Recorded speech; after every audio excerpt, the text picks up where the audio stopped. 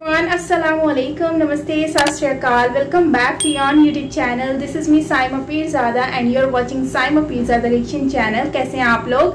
सो so, दोस्तों आज का वीडियो हम देखने वाले हैं बेसिकली um, नागपुर में जो है एक नई मेट्रो आ रही है और बेसिकली यहाँ पर एक डबल uh, डेकर के नाम से मतलब कि फ्लाईओवर बनाया जा रहा है which is amazing act from जो नितिन गडकरी जी हैं उनकी तरफ़ से। आई थिंक कि इंडिया में इतनी ज़्यादा डेवलपमेंट होना एक बहुत ही ज़बरदस्त कामयाबी की तरफ़ जा रहा है। मतलब कि ये बताता है कि वो इंडिया कितनी तेज़ी से कामयाबी की तरफ़ चल रहा है। सो so, चलते हैं देखते हैं इस वीडियो को। ओरिजिनल वीडियो का लिंक आपको नीचे डिस्क्रिप्शन में मिल जाएगा सो आप वहाँ से देख सकेंगे। और अगर मेरे चैनल पर न्यू हैं तो सब्सक्राइब करना बिल्कुल मत भूलिएगा एंड बेल आइकन को ऑल नोटिफिकेशन पे प्रेस कर लें ताकि सारी वीडियोस आपको मिलती रहें। सो यस लेट्स हेलो दोस्तों, क्या आपको पता है कि Nagpur metro 65 percent solar power का यूज़ करके अपने मेट्रो को संचालित करेगा? और साथ ही, क्या आपको पता है कि नागपुर मेट्रो में फोर्थ लेयर ट्रांसपोर्टेशन सिस्टम बनेगा, जिसमें इंडियन रेलवे का ट्रैक भी रहेगा और साथ ही रोड भी रहेगा और साथ ही नागपुर मेट्रो भी रहेगा। तो चलिए, हम देखते हैं किस तरीके से रहेगा और कैसा रहेगा आज के इस वीडियो पर। तो चलिए शुरू करते हैं। नमस्कार दोस्तों, मेरे इस चैनल में आप सबका स्वागत है। नागपुर मेट्रो समय समय पर कीर्तिमान हासिल करता रहता है। उसमें से एक है फोर्थ लेयर ट्रांसपोर्टेशन सिस्टम। ये क्या है और कहाँ बन रहा है? चलिए इस वीडियो पर देखते हैं। कामठे इलाका, जो कि काफ़ी रस भरा इलाका होता है, वहाँ पर आपका गढ़ी गोदाम के पास बन रहा है आपका फोर्थ लेयर ट्रांसपोर्टेशन सिस्टम। इस पर सिक्सटी परसेंट काम अभी फ़िलहाल कंप्लीट हो गया है। तो चलिए चर्चा करते हैं।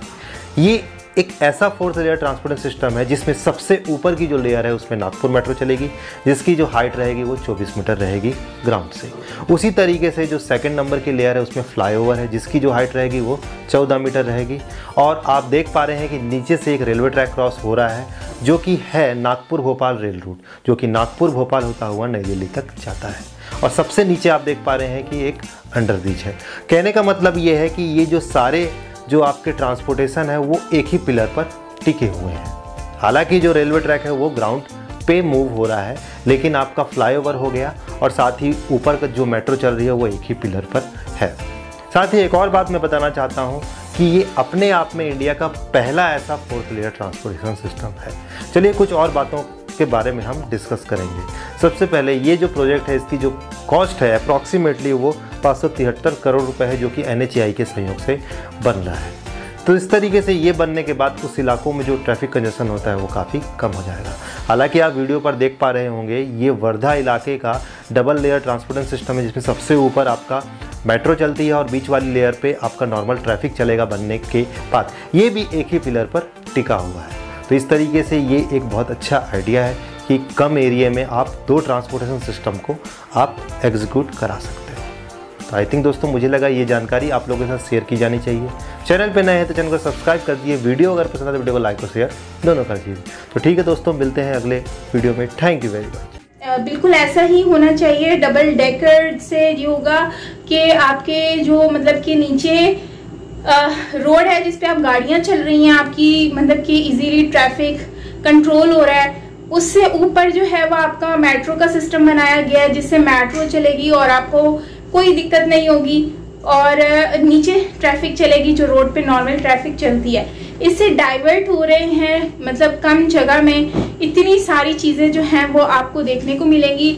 आई थिंक कि ट्रैफ़िक की वजह से ना, ये सबसे बड़ा मसला यही होता है, और मुझे अब भी याद है कि शारजा में अगर हम देखें तो बहुत ज़्यादा ट्रैफ़िक होता है, बहुत ज़्यादा। और वहाँ के रोड ऐसे हैं, क्योंकि शारजा में रहते हैं, सारे काम लोग रहते हैं शारजा में बिकॉज़ वो बहुत सस्ता पड़ता है। रेंट के लिहाज से। लेकिन अगर हम जॉब्स देखें तो लोग दुबई में करते हैं मोस्टली तो वो लोग क्या करते हैं, दुबई जाते दुबई से जब शाम में ऑफ़िस से वापस जा रहे होते हैं तो जो शारजा से कनेक्ट होता है दुबई का रोड वहाँ पे इतना क्राउड होता है कि आप ये कह सकते हो कि लाइन लगी हुई होती है गाड़ियों की और आपको आपको मौका नहीं मिलता कि आपने किस तरह से वहाँ से निकलना है। तो वेल एक दो घंटे भी, तीन घंटे भी लग जाते हैं आपको ट्रैफ़िक में फंसे हुए। तो ये हम इस तरह का प्रॉब्लम रहता है। तो अगर इस तरह से रोड्स बना दिए जाएँ तो मुझे लगता है कि बहुत ही बेस्ट आइडिया मतलब रोड नीचे रोड की कनेक्टिविटी ऊपर जो है वो फ्लाईओवर बना दिया। फिर उसके ऊपर जो है आपने मेट्रो का सिस्टम बना दिया। I think this is the best idea और शायद मैंने इसे पहले कभी नहीं देखा। हो सकता है हो दुनिया में कहीं ना कहीं तो होगा। लेकिन मैंने नहीं देखा आज तक लाइफ में इस तरह का सिस्टम सो so, मेरे नज़र में तो ये एक बहुत ही अच्छा आ, मतलब कि आइडिया भी है नितिन जी की तरफ़ से कि उन्होंने बहुत ही अच्छा ये काम किया है जिससे आने वाले वक्त में जो है वो बहुत ज़्यादा फ़ायदा होगा पब्लिक को बहुत ज़्यादा फ़ायदा होगा ट्रैफ़िक को कंट्रोल करने में फ़ायदा होगा। ज़ाहिर सी बात है ट्रैफ़िक कम होगी तो टाइम सेफ़ होगा। आप स्मूथली ट्रैफ़िक कर सकोगे आप मतलब ड्राइव कर सकोगे अपना काम कर सकते हो फिर आपको इतना ज़्यादा दिक्कत का सामना भी नहीं होगा। तो अमेजिंग आइडिया और काफ़ी अच्छा रोड के ऊपर जिस तरह से वो कंस्ट्रक्शंस कर रहे हैं रोड्स बनाए जा रहे हैं और इंटरसिटी में ही उन्होंने जो है वो टनल बनाकर काफ़ी खूबसूरत तरीके से आ, आ, मतलब खूबसूरती को भी बढ़ाया। साथ में जो है वो रोड की जो ट्रैफ़िक है, उसको भी कंट्रोल कर रहे हैं।